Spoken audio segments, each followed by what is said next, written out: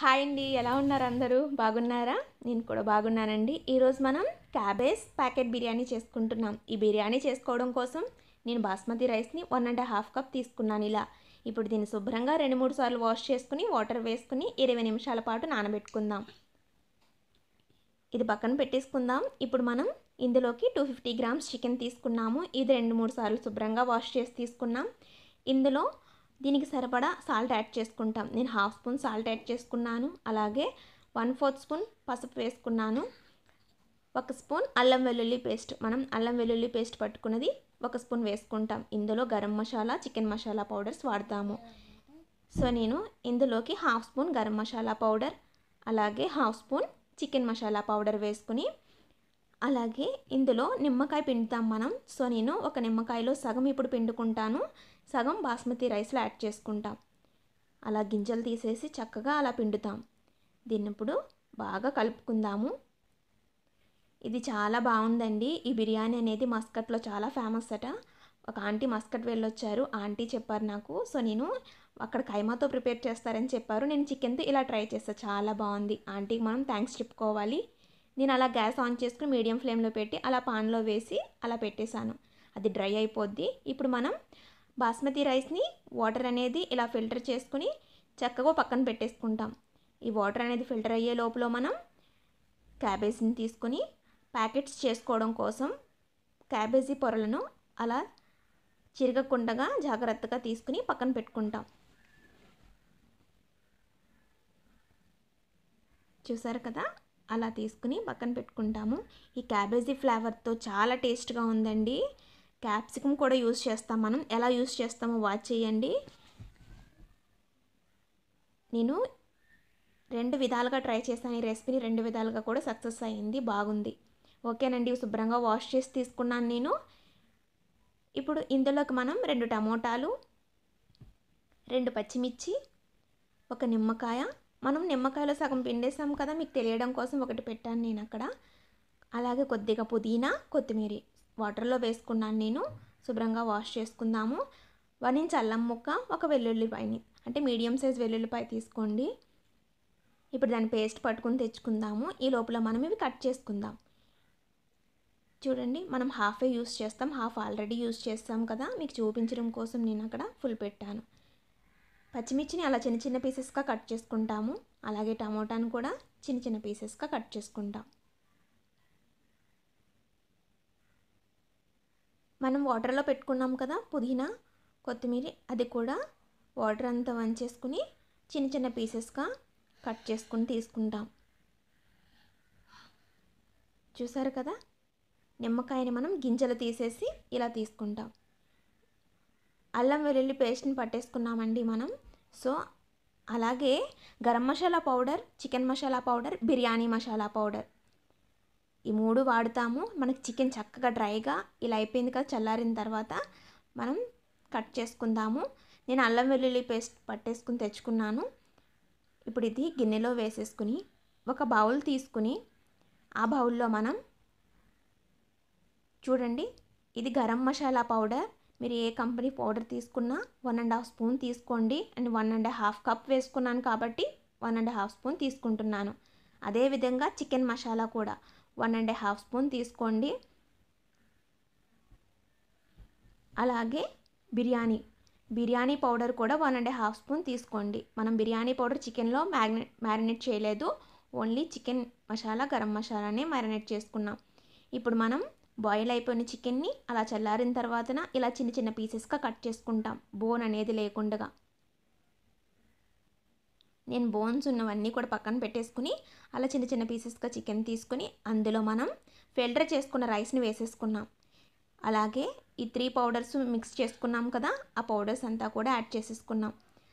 అల్లం వెల్లుల్లి పేస్ట్ పచ్చిమిర్చి టమోటా పీసెస్ అలాగే కట్ చేసి పెట్టుకున్న కొత్తిమీర పుదీనా నిమ్మరసం.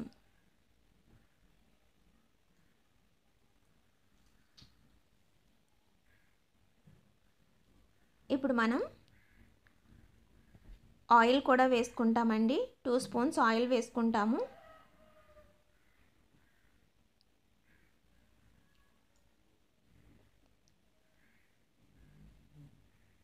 వేసుకున్నాము కదా. సో ఇప్పుడు దీనికి సరిపడా సాల్ట్ వేసుకుంటాం మనం. చికెన్లో ఆల్రెడీ వేసుకున్నాం కదా. సో మనం రైస్కి సరిపడా సాల్ట్ వేసుకుంటాం. అలాగే హాఫ్ స్పూన్ కారం వేసుకుంటాం. అసలు స్పైసీనెస్ అనేదే లేదండి. అది టేస్ట్ మనం చెప్పలేము. చాలా టేస్ట్గా ఉంది. మీరు చక్కగా ట్రై చేసుకున్న కామెంట్ని షేర్ చేయాలి. ఇప్పుడు మనం ఇలా ప్యాకెట్ని అలా మధ్యలోకి ఫోల్డ్ చేసి దాన్ని రివర్స్లో పెట్టేస్తాం.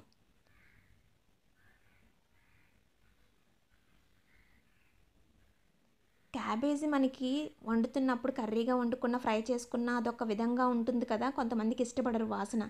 సో అలాంటిది లేకుండా క్యాబేజీ చాలా బాగుందండి ఆ ఫ్లేవర్ బిర్యానీతో. చాలా టేస్ట్గా ఉంది. వాళ్ళు కైమాతో చేస్తారంట ఇది. నేను చికెన్తో ట్రై చేశాను. చాలా బాగుంది. నాకైతే బాగా నచ్చిందండి. మీరు కూడా ఒక్కసారైనా ఇలాంటి రెసిపీ చేసుకుని తినాలి కదా. సో తింటే మీకు కూడా టేస్ట్ తెలుస్తుంది. నేను ఇప్పుడు క్యాప్సికమ్ తీసుకుని క్యాప్సికమ్ని పైన అలా కట్ చేసుకుని చూడండి అలా ఓపెన్ చేసుకుంటాము. సో ఇప్పుడు ఇందులో మనం ఇది ఫీడ్ చేసేస్తాం. ఫుల్గా ఫిల్ చేసుకూడదండి మనకి కొంచెం స్పేస్ అనేది వదిలేసి ఒక త్రీ ఫోర్త్ వరకు ఫిల్ చేస్తే ఆ రైస్ అనేది ఉడికి కొంచెం రైస్ అనేది పొడుగవుతుంది కదా బాస్మతి రైస్ ఉడికే కొద్దీ సో దానికోసం మనం కొంచెం స్పేస్ వదిలేసి ఫిల్ చేస్తాం. కొద్దిగా సరిపోతుంది. ఓకేనండి. ఈ మిగిలిన రైస్తో నేను ఇంకొక రెసిపీ చేసి చూపిస్తాను మీకు. నేను ఇడ్లీలో మనం ఇడ్లీ పాత్రలు ఇడ్లీ ఎలా పెట్టుకుంటామో ఆ విధంగా కొంచెం వాటర్ ఎక్కువ వేసుకుని అలా ఇడ్లీ రేకు పెట్టుకున్న తర్వాతన దాని మీద జాగ్రత్తగా మనం అలా పట్టుకుని అలా ప్లేస్ చేసుకుంటాం. అలా రివర్స్లోనే ప్లేస్ చేస్తాము. ఆ హోల్స్ అనేవి క్లోజ్ చేయకూడదు. మనకి ఇవి ఆవిరితో ఉడుకుతుంది రైస్ అనేది లోపల. ఈ ఆకుల్లో నుంచి వాటర్ అనేది స్ప్రెడ్ అవుతూ ఆ వాటర్తోనే చక్కగా బాయిల్ అవుతుంది. సో నేను అలా ప్లేస్ చేసేసుకున్నాను అన్నీనా. క్యాబేజ్ అంటే వాటర్ వస్తుంది కదండి. సో క్యాబేజ్ ఆకులతో మనకు బాయిల్ చేసే కొద్ది వాటర్ అనేది రావడం వల్ల ఆ లోపల ఉన్న రైస్ అనేది చక్కగా ఉడుకుతుంది. అలాగే క్యాప్సికమ్ కూడా బాగా ఉడుకుతుంది. కానీ క్యాప్సికంలో బాగా మెత్తగా ఉడుకుతుంది రైస్ అనేది. ఇందులో కొంచెం కొంచెం పొడి పొడిగా ఉంటుంది క్యాబేజీలో చూడండి నేను అలా గ్యాస్ వెలిగించుకుని మీడియం ఫ్లేమ్లో పెట్టుకుని ఒక వన్ అవర్ పాటు అది ఉడకాలండి తొందరగా బాయిల్ అవ్వదు. ఇప్పుడు నేను మిగిలిన రైస్లో చూడండి నేను పాన్లో కొంచెం రైస్ ఉండిపోయింది కదా అందులో ఫిల్ చేయగా సో నేను మిగిలిన రైస్ని ఇలా క్యాబేజీ ఆకులు ఉన్నాయి కదా సో వాటిని అలా కట్ చేసుకుని దాని మీద అలా పెట్టుకుంటున్నాను. ఇందులో మనం యాక్చువల్గా మీరు అలా చేయలేని వాళ్ళు ఇలా చేసుకుంటున్నప్పుడు మీరు వన్ కప్ రైస్ తీసుకున్నారనుకోండి అప్పుడు one and half cup water వేసుకోవాలి. నేను ఎంత రైస్ తీసుకున్నాను అనేది కొలత లేదు కాబట్టి నేను మిగిలిన దాన్ని ఇలా ప్రిపేర్ చేసుకుంటున్నాను కాబట్టి అంచనాకి దానికి ఈక్వల్గా వాటర్ వేసేసుకుని నేను మూత పెట్టేసుకుని అలా మీడియం ఫ్లేమ్లో పెట్టేసుకున్నాను. అలా చూసుకున్నప్పుడు ఒక రెండు నిమిషాలు అయిన తర్వాత మనకి వాటర్ అనేది అలా ఓపెన్ చేసి చూసుకుంటూ ఉంటే డ్రై అయిపోయింది కదా ఒక ఫైవ్ మినిట్స్కి డ్రై అయిపోయింది. సో ఇంకా కొంచెం గట్టిగా ఉంది. సో నేను ఏం చేశానంటే కొంచెం వాటర్ని ఇలా చేతిలోకి తీసుకుని చిలకరించుకున్నాను. బట్ మీరు వన్ కప్ తీసుకుని ఇలా సేమ్ ప్రాసెస్ చేసుకుంటున్నప్పుడు one and half cup water వేసుకుని అలా సిమ్లో పెడితే చక్కగా ఉడుకుతుందండి మీకు. మీకు ఇలా వాటర్ అనేది మధ్యలో యాడ్ చేసుకోవాల్సిన అవసరం ఉండదు. చూడండి చక్కగా బాయిల్ అయిపోయింది. చాలా టేస్ట్గా ఉందండి. అది ఇలా ట్రై చేశాను. ఇది కూడా సక్సెస్ అయింది.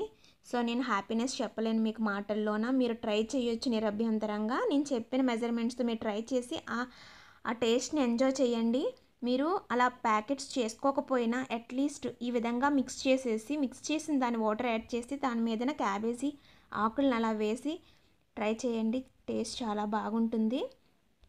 ఇలాగే మనం క్యాప్సికమ్ పీసెస్ కూడా వేసుకుంటే బాగుంటుంది. ఇది వేడి వేడిగానే బాగుందండి.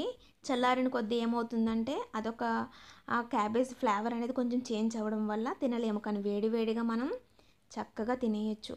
ఆ క్యాబేజీ ఆకుతో ఆ రైస్ని మధ్యలో పెట్టుకుని అలా తింటూ ఉంటే నేను ఎక్స్ప్రెస్ చేయలేనండి. నేనైతే చాలా హ్యాపీగా ఎంజాయ్ చేశాను ఆ టేస్ట్ని. ఆ పీస్ అనేది కూడా చాలా చక్కగా మెత్తగా బాయిల్ అయ్యింది. ఆ నిమ్మరసం పులుపుతో చాలా బాగుందండి. ఇప్పుడు నేను వన్ అవర్ తర్వాతన ఇదిలాగా ఓపెన్ చేసుకున్నాను. ఆ క్యాప్సికమ్ గ్రీన్ కలర్లో ఉన్న క్యాప్సికమ్ చక్కగా బాయిల్ అయిపోయి లోపల ఉన్న రైస్ కూడా బాయిల్ అయిపోద్ది. మీకు చూపిస్తాను నేను. మనం అలా చక్క జాగ్రత్తగా ఆ ప్యాకెట్స్ని అలా తీసుకోవాలి. అది బాయిల్ అయ్యింది కాబట్టి మనకి లోపల ఉన్నది తొందరగా అది విరిగిపోదండి. స్పూన్తో తీసినప్పుడు కూడా గరిటెతో తీసినప్పుడు విరగకుండా ఉంటుంది. ఆ పీసెస్ కూడా మనం చిన్న చిన్న పీసెస్ కట్ చేసుకున్నాం కదా అవి చక్కగా బాయిల్ అయ్యి టేస్ట్ అనేది మనకి బాగా ఎంజాయ్ చేస్తాము. మనం ఎప్పుడు బిర్యానీని మామూలుగా చేసుకుంటాం కదా ఇలా వెరైటీగా చేసుకుంటే బాగుంది కదా ఒకసారి ట్రై చేయండి మీరు.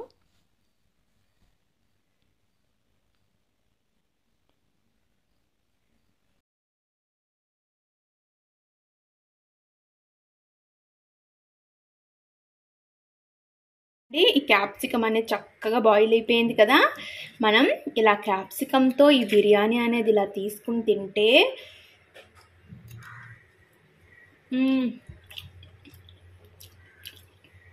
సూపర్ ఉందండి. ఈ క్యాప్సికమ్ బాగా టేస్ట్లో బాయిల్ అయిపోయింది కదా. చాలా టేస్ట్గా ఉంది. అదేవిధంగా మనం ఈ క్యాబేజీ ఆకుతో కట్ చేసుకొని ఇలా తీసుకుని తింటే ఈ ఫ్లేవర్ కూడా చాలా బాగుంటుంది. చూసారా కదా? నాకైతే బాగా నచ్చిందండి. మీరు ట్రై చేయండి. నాకు కామెంట్ని షేర్ చేయండి. ఖచ్చితంగా ట్రై చేయండి ఇది. ఓకేనా? Thank you for watching. Have a nice day.